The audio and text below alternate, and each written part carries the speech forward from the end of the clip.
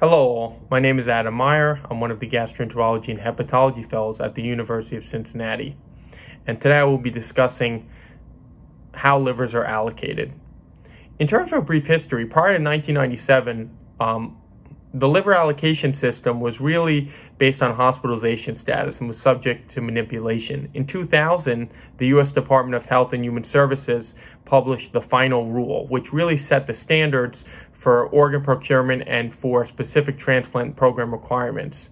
In 2002, the MELD score was then approved by UNOS to be used for liver transplant allocation. And this is a score based on objective lab values.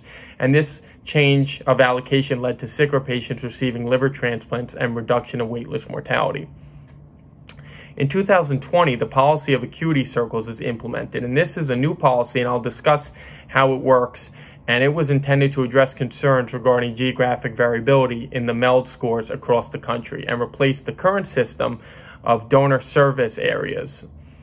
And this policy um, revolves around concentric circles of, uh, of the donor hospital. And we'll walk through a specific scenario in a moment of how it works. Uh, but I wanted to mention what's known as status 1A. Um, and this is a priority exception to the MELD score. And this is reserved for patients with acute liver failure um, who meet specific criteria and have a life expectancy of seven days or less without a liver transplant. So let's say there's a um, donor liver at a hospital that is first going to be offered to patients who are listed under status 1A, i.e., they have acute liver failure and they have a very short time to live and are at imminent risk of death.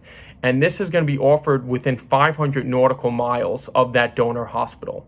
If that liver is then not used and it's not uh, given to a patient with status 1A, then it's going to follow this priority. It's going to be offered first to patients with high MELD scores, i.e., greater than 37, within 150 nautical miles of the donor hospital in a concentric circle.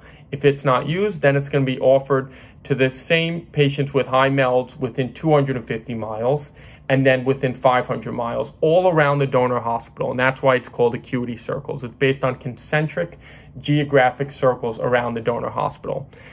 If it's still not accepted, then it'll be uh, then it goes to patients with less less urgency, i.e., lower MELD scores, again, starting from 150 miles around the donor hospital to 250 to 500 and so forth until um, the liver is uh, utilized. I wanted to mention briefly future directions. So the MELD 3.0 um, is currently being looked at, and this helps to address gender disparities uh, regarding liver transplantation.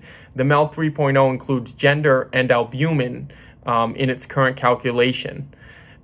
The other um, aspect of liver allocation and, and direction I wanted to mention is what's known as continuous distribution. And this intends to establish a single framework and ranks candidates based on factors including medical urgency, candidate biology, patient access, and placement efficiency. And this intends to remove boundaries that are in the current framework in order to increase equity for candidates. So these two changes, the MELD 3.0 and continuous distribution, are something to keep an eye out for in the future. Thank you.